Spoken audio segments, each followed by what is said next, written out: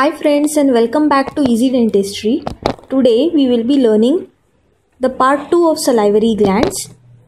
But before that please subscribe to our channel and hit on the bell icon so that you do not miss any of our recently updated videos. Share videos with your friends and share knowledge. Salivary glands we have studied the first part the, that was the basic part. Now today we will be studying about the salivary glands in details. So let's begin with today's topic. In this lecture, we will be studying about the classification of salivary glands, the major and minor salivary glands, about the saliva composition, function and control of secretion of saliva and finally we will be studying about the development of salivary gland. So let's begin with the classification. The salivary glands are classified on three criteria. The first criteria is depending upon the size. They are classified as major glands and minor glands. Second, on the basis of location, they are classified as the labial salivary glands and lingual salivary glands. The criteria of location is mainly applied to the minor salivary glands. Depending upon the histochemical nature, the uh, the salivary glands are classified into serous glands and mucous glands. Now let us study what are the major salivary glands. These are three number. They are parotid, submandibular and sublingual gland. We will be studying each of these gland that is parotid, submandibular and sublingual gland under the following headings. First we will study about its structure, then the blood supply, then the lymphatic supply, nerve supply and finally we will be studying about the histology of each gland. So let us begin first with the parotid gland. The parotid is the largest of all the major salivary gland and it is made up of two parts the superficial part and the deep part. The superficial part is present in front of the external ear while the deep part is present behind the ramus of mandible and it uh, fills the retromolar fo- uh, retromandibular fossa.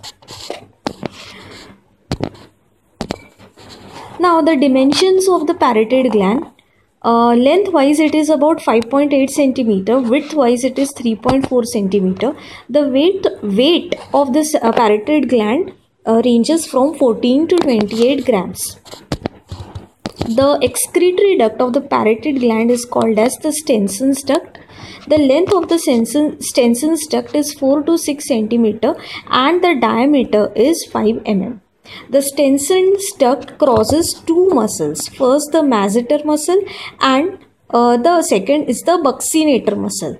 The Stenson's duct it crosses the ma uh, masseter muscle, but it pierces the buccinator muscle and open at the in the oral cavity at the level of the upper second molar tooth.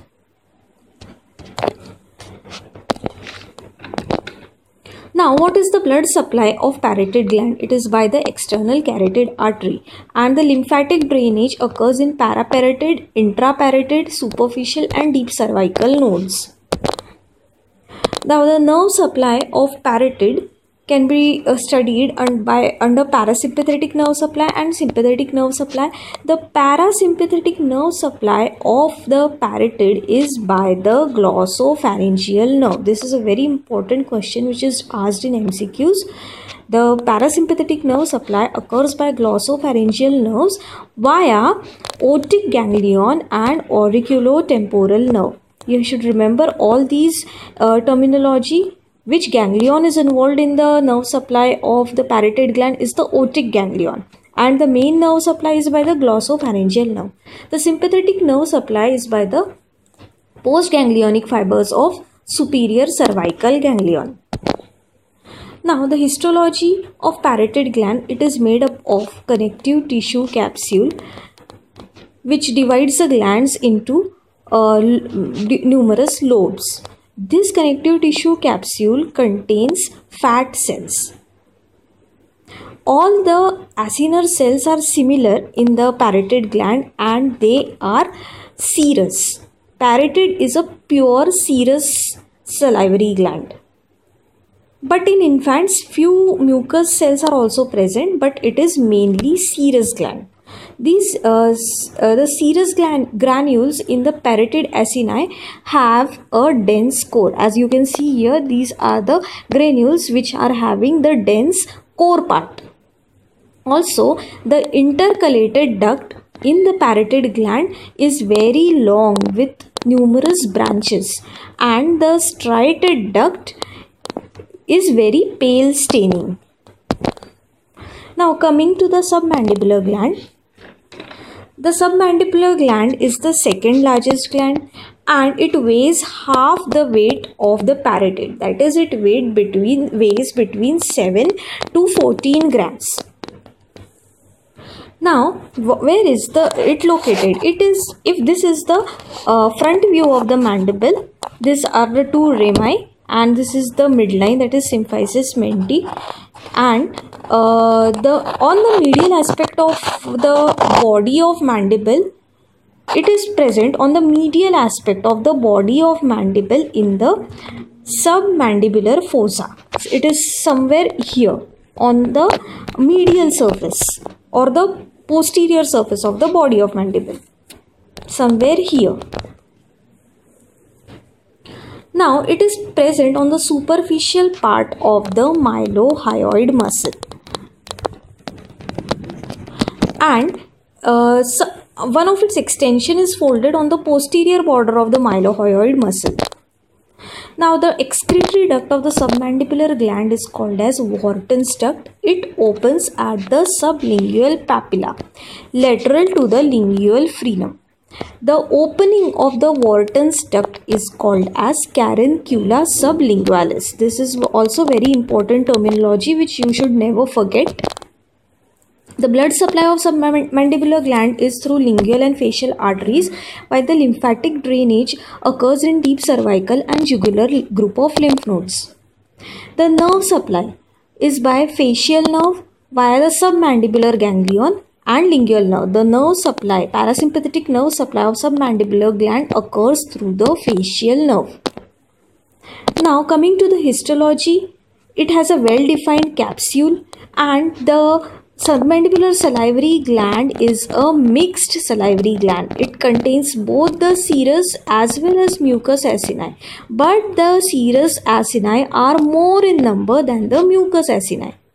Sometimes the demilunes which we have seen in chap in the first part of salivary gland, the demilunes are also seen. Uh, submandibular serous cells are slightly different from the parotid serous cells. The basal area and the lateral area of the plasma membrane of these cells show numerous foldings as shown in this picture. The serous granules have a granular matrix and a dense core and sometimes they are crescent or C-shaped. Coming to the sublingual gland, uh, the sublingual gland position is between the mucosa of the floor of mouth and the mylohyoid muscle. And the uh, duct of the sublingual gland is called as Bartholin's duct. Several smaller ducts are also present which are called as duct of Rivinus. Now coming to the histology, this is also a mixed gland.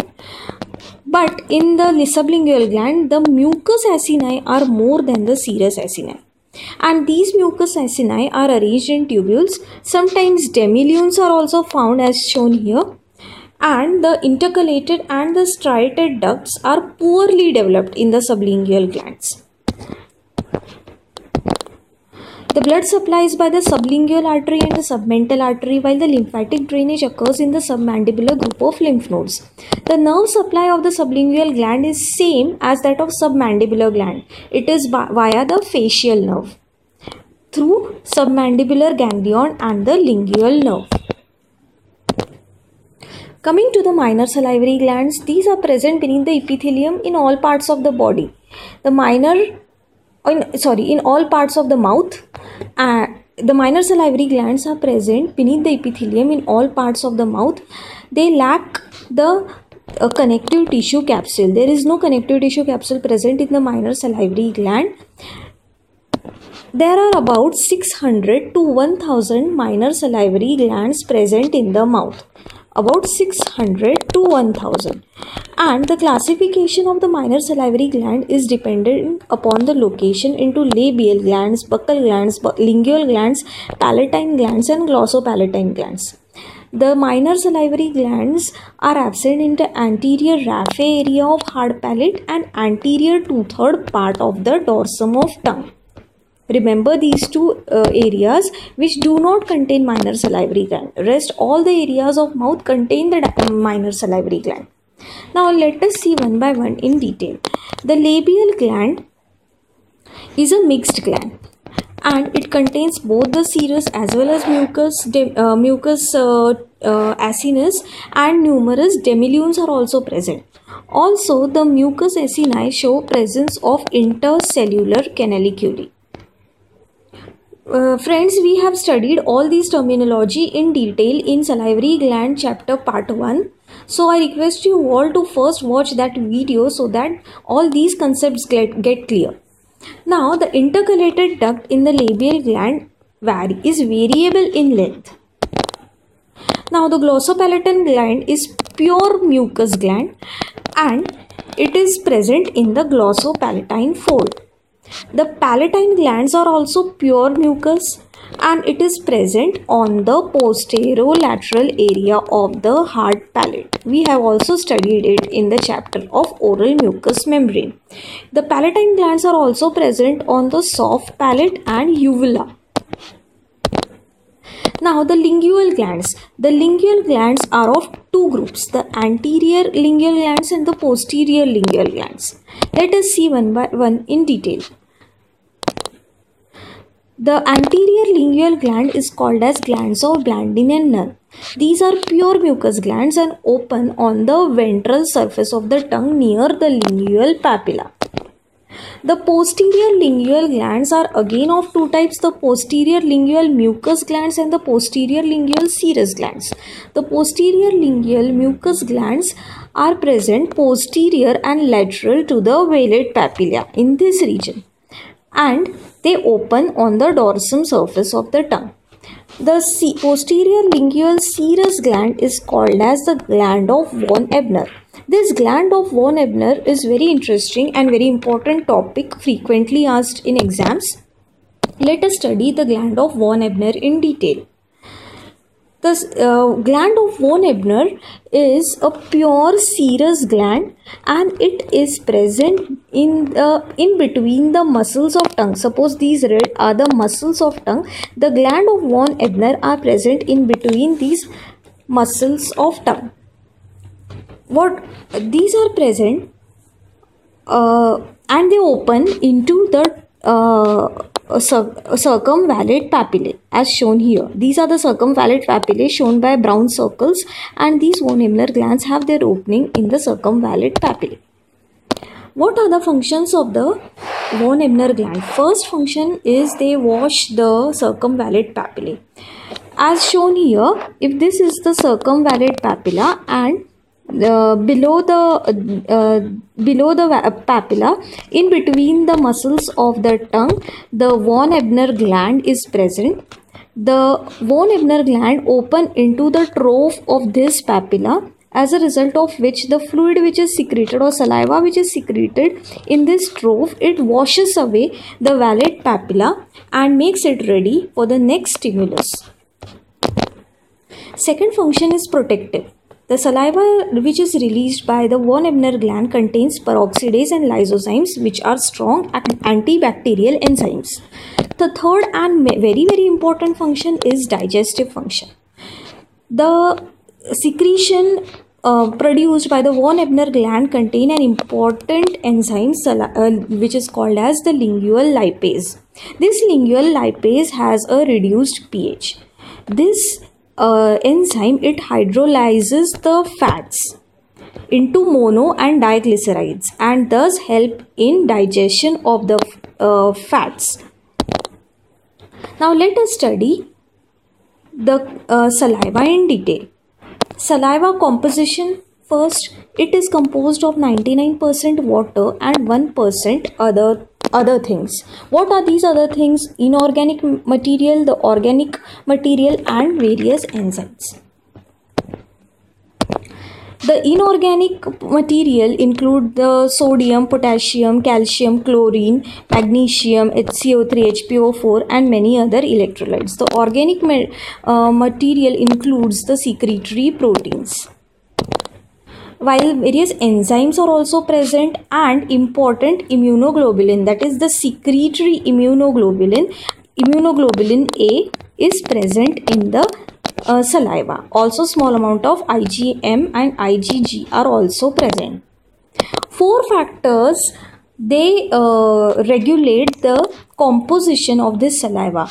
First factor is the source of saliva. Depending upon uh, from which gland the saliva is secreted, the composition varies. Second factor is the nature of stimuli. The third factor is the intensity of stimuli.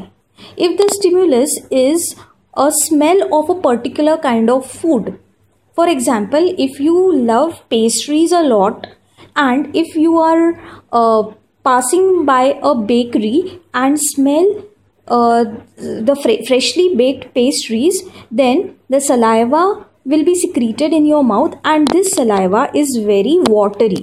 So the water content in the saliva increases. Also depends upon the intensity of stimuli.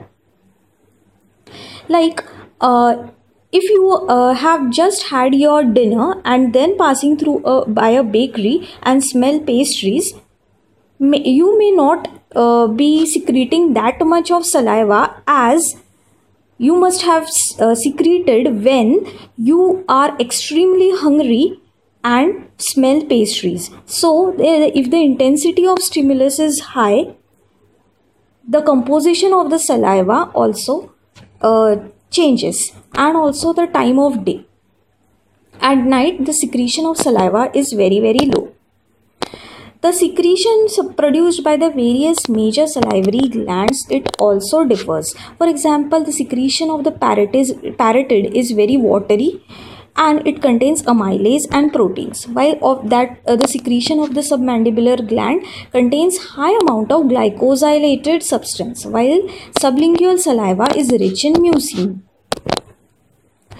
Now what is whole saliva it is the mixture of of saliva from all the major and minor salivary glands. The pH of this whole saliva is between 6.4 to 7.4. The total volume of whole saliva which is secreted on in the mouth daily is 750 to 1000 ml. And submandibular gland is the gland which contributes to the major portion of this daily production of saliva which is 60%. Then followed by parotid which contributes 30%, then sublingual 5% and less than 1% by the minor salivary glands. Now let us discuss the flow of saliva in resting condition of the gland and in the stimulated condition. The whole saliva almost remains the same in resting as well as stimulated condition.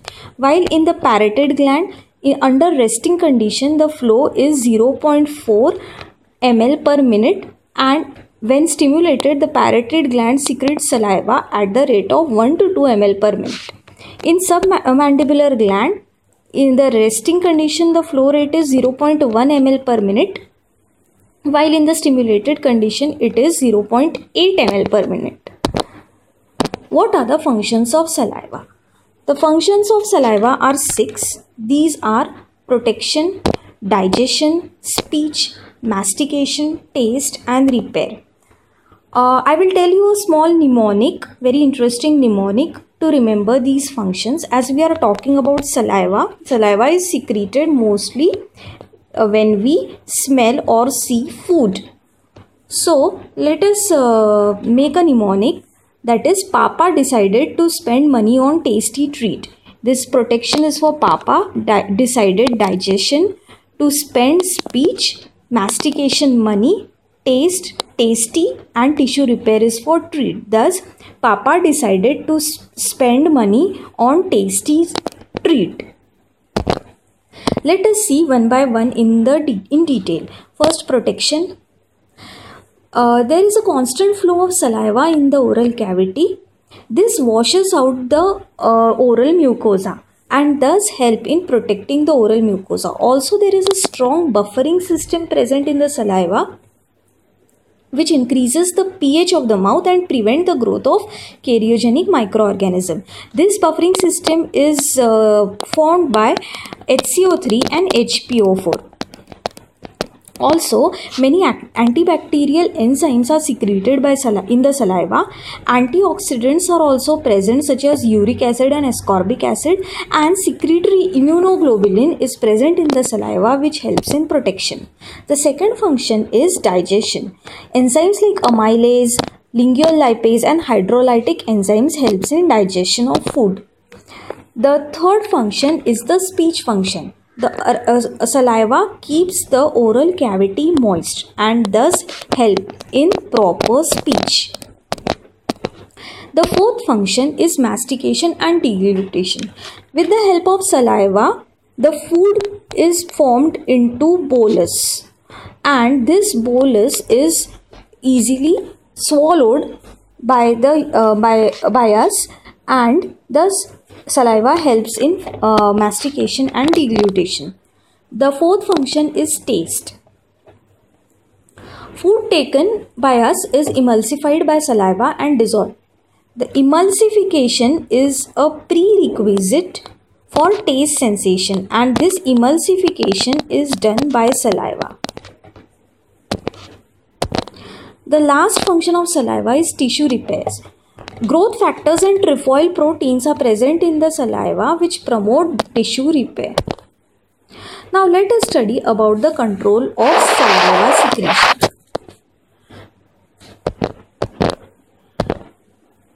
Uh, we have studied in the uh, first part of salivary gland there are two patterns of nerve innervation in the salivary gland these are intraepithelial and subepithelial now uh, the uh, the innervation of the uh, nerve is uh, contains the vesicles and these vesicles contain the neurotransmitter. These vesicles are released and the neurotransmitter are released. These neurotransmitter they stimulate the salivary acinar cells. And the uh, the granules are zymogen granules are discharged this molecular event is called as stimulus secretion coupling. Now there are sympathetic neurotransmitter which is norepinephrine. This norepinephrine it acts on alpha uh, adrenergic receptor and beta adrenergic receptor. When the alpha adrenergic receptor is stimulated, there is increased protein secretion in the saliva, while when the beta uh, adrenergic receptor is stimulated, there is decrease in, decrease in the protein content.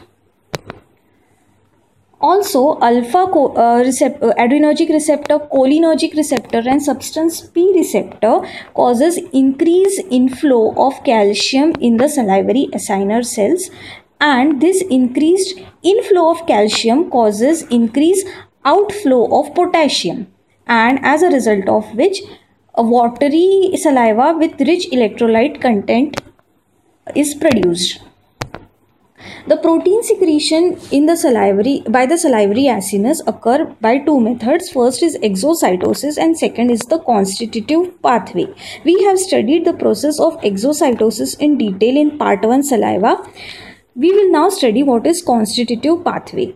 In this uh, pathway, the cells, salivary acinar cells, they release protein by vesic- vesicular mechanism. That is, the vesicles directly travel from the Golgi to the plasma membrane and they are finally released. Now let us study about the development and growth of the salivary gland. The salivary gland arises from the ectoderm of the oral epithelium. And they form a bud like structure of the oral ectoderm. And there is the proliferation of underlying mesenchyme below the bud. The primordium of the parotid and the submandibular gland is formed during the sixth week of intrauterine life, while the sublingual gland is formed at the seventh to eighth week of intrauterine life. Development of salivary gland involves three stages. In the first stage, there is formation of the salivary anlage and development of gland begins. Then in the second stage, there is formation of branch system of cords and cells which are solid as shown in this picture. Gradually in the third stage, lumens and ducts are formed.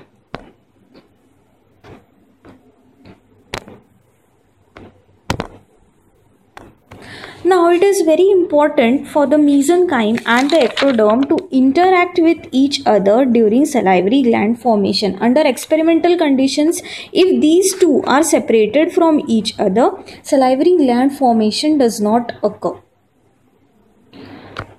In absence of mesenchyme, the salivary gland do not develop.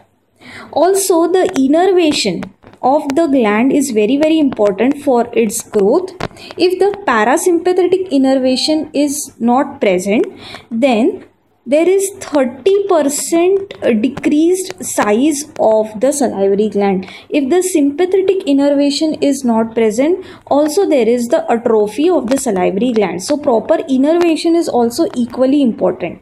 Also remember that the myoepithelial cells which we have studied in the salivary gland develop during 24 to 35 weeks of intrauterine life so here we complete with the chapter of salivary glands. Hope you all understood this topic well. If any doubts, please comment below and ask us. Now it is the quiz time. Question 1 is the Stenson's duct open in relation with which tooth? Question number 2 ducts of the submandibular gland is called as what? Question number 3 von Ebner gland produce which digestive enzyme? Uh, question number 4 Saliva secreted by which gland contributes maximum to the daily volume? The next lecture will be on occlusion. This is also a very important topic which is uh, asked by many of our viewers. Please subscribe to our channel and stay tuned with Easy Dentistry and happy studying.